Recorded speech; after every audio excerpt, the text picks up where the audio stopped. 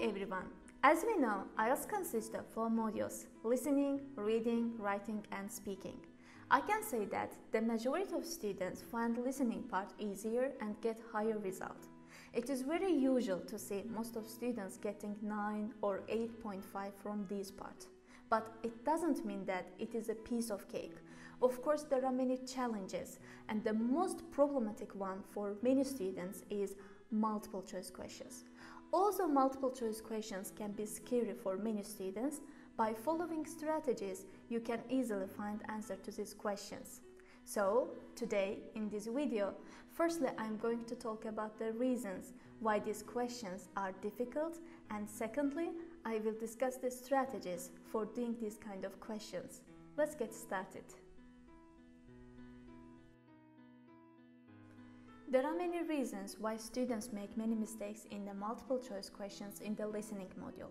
The first one is they expect to hear the same words. Don't forget, your answers will be given in the forms of synonyms or paraphrases. Do not expect to hear the exact maths or exact keywords. Especially in multiple choice questions, your keywords in both questions and also choices will be strongly paraphrased. Besides this, another problem is there is no time to read all the questions. Sometimes in multiple choice questions, the choices can be very extended and long, and of course it is time consuming. In this case, students fail to read all the questions and understand what the options and questions are about, and as a result, at the end they make mistakes easily. Next problem is low level of understanding. It means in this case you are not only bad at multiple choice questions but also you cannot do other kinds of questions because you haven't developed your listening skills yet. Try to improve your general English understanding. Actually you can start by watching movies in English as well as listening to different kinds of talks in English can help you develop your general level of comprehension. And finally, the biggest problem is students don't read the questions and also choices. It's very important in listening part to focus on questions and choices as all the options can be mentioned by the speaker. In order not to make mistakes in multiple choice question, try to look at all the questions and choices and understand the difference between the choices. As I mentioned before, no matter how difficult these questions are, if you follow instruction and strategies, in this case you can improve your skills in this part. Now, let's talk about the strategies for multiple choice questions in the listening module. Whenever you see you have multiple choice questions in the listening module, the first thing you have to do is to look at the instruction. Usually, you are given a statement and related to statement, you are asked to choose only one letter. And in this case, it means you have three or four choices and you have to choose only one letter. But sometimes you can be given a question and the question, I mean the instruction, can ask you to choose two or three letters. And that's why you have to be very careful about the instruction and in this case you have to choose two or three letters. The next step is to look at the questions. Actually, if you cannot focus on the question and understand what the question asks you to do, in this case you can fail. Besides looking at the question, you have to also look at the choices. We know that in multiple choice questions, all the options can be mentioned by the speaker, so it can be very confusing. And in order not to fail in this part, you have to also look at all the options and underline the keywords in both question and also choices. And also you have to be very good at managing your time. In order to manage your time, you have to skim all the questions and understand what the questions are about and also follow the speaker of course. If you don't understand what the speaker is talking about in this case you can fail. Don't write the first answer you hear. Firstly listen to the speaker and understand everything because the speaker mentions all the options. So listen till the end and at the end analyze and choose correct answer. In case you don't have any idea about the question and you are not sure what the correct answer is, in this case, make a guess and go on. These are strategies for multiple choice questions, but in order to understand them in more detail, let's practice together. In this part, I'm going to explain how keywords can be given in multiple choice questions and how we should find them. Let's now look at the first question. Becoming a friend of Laverton Art Center, A costs 15 pounds, B costs 50 pounds, and C doesn't cost anything. In this question, as we are asked to find the fee for becoming a member of Laverton Art Center, our keyword is cost. So we have to underline cost in all the options, I mean A, B and C. As I mentioned, we have to underline keywords because it helps us later understand the meaning of the questions and we don't need to look at the same question and read choices again and again. Now, it is time to look at the second question. How many newsletters do friends receive each year? A4, B1, C3. In this question, we are asked to find the number of newsletters given each year. So, we have to underline how many newsletters in the second question. Then, we also should underline each year to find exact answer. But when it comes to choices, there is no keyword and they are numbers, so it is easy to see the differences between choices. Let's now look at the third question. Friends of the Art Center can buy A. More tickets than other visitors, B. Tickets before other visitors, and C. Books earlier than other visitors.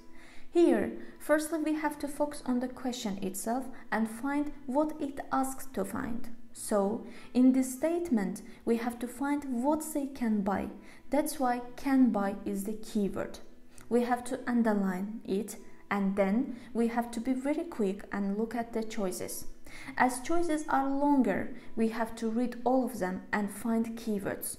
In order to find keywords in the questions, we have to focus on the differences in the questions. It means we have to underline more tickets in A, tickets before in B, and books earlier in C.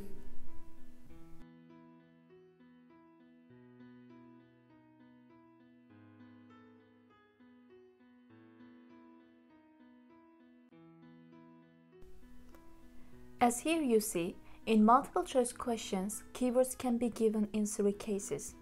They only can be given in choices as in the first question, or they can be given in the questions as the second one. And usually keywords are given in both question and choices as in the third question. So, what you should do is to read all the questions as well as choices and find keywords. Now, let's look at listening script and analyze what our answers are. Receptionist. Laverton Art Center. How can I help you? Caller. Hello, I have been to the art center a few times recently and I understand you have this scheme for regular visitors. Receptionist. The Friends of Laverton Art Center. Yes, that's right. Caller. I wonder if you could tell me a little about it. I mean how much it costs and what benefits it offers. Things like that. Receptionist. Certainly. Well, first of all, the good news is that we have recently changed the scheme. It used to cost 15 pounds a year, but now it is free. All you have to do is fill in an application form. You can either come to the art center and do that here, or you can go to our website and apply online. In this part, firstly we can be confused as it is said it used to cost 15 pounds a year. As I mentioned before, don't write the first answer you hear because later the receptionist says, but now it is free. You see, here our answer is C, as our answer, I mean doesn't cost anything, is given in the form of synonym and paraphrased as it is free. As a result, our answer is C in the first question. Now, let's analyze the second question color. And so, what are the benefits of joining? There are actually quite a few. As a Friends of Laverton Art Center, you will receive a newsletter every three months with information on all the forthcoming events. Color, that sounds useful. Here, our keyword newsletter is mentioned. It shows the speaker is talking about the second question. It said you receive a newsletter every three months. Some students can choose C, but here our keyword is also each year. As the receptionist says the woman will receive a newsletter every three months, it is four times each year. Therefore, our answer in the second question is A. Now it is time to look at the third question. Receptionist. You also get priority booking for shows and concerts in the main theater. Caller. Can you explain how that works exactly? Receptionist. Yes, what that means is that when tickets go on sale for the first two days, they are only available to Friends of the Art Center. So, as long as you book early, you can make sure you get seats. Receptionist says when tickets go on sale for the first two days, they are only available to Friends of the Art Center. If we are concentrated and listen carefully, then we can see that our answer here is B. In this kind of questions, as long as you look at all the choices and understand the differences, then you can instantly choose correct answer. That's all for today. If you have any questions, feel free to ask. Thank you for watching. Have a nice day.